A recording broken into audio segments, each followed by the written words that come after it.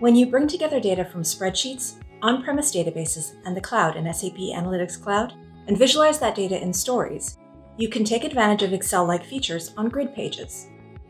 But what if you just prefer working directly in Excel? Or you want to mash up models with local data that you don't want to upload to SAP Analytics Cloud? Well, we've got some good news for you. The SAP Analytics Cloud add in for Microsoft Office is now available. Integrated with Office 365, this add in lets you format, analyze, and enrich your data based on the latest content from the SAP Analytics Cloud platform. Once you've logged on to an SAP Analytics Cloud tenant, you can insert data from one or more existing models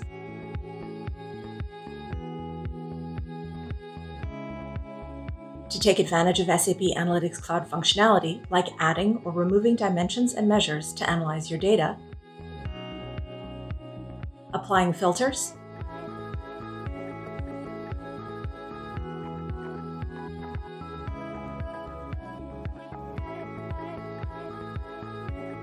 drilling up and down in hierarchies,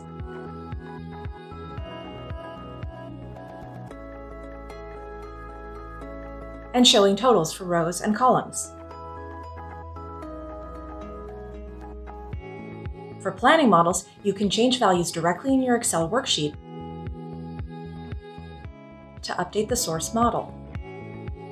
And with your data in Excel, you can also easily combine it with other data that hasn't been modeled in SAP Analytics Cloud. Ready to try it for yourself? Activate the SAP Analytics Cloud add-in for Microsoft Office and get started today.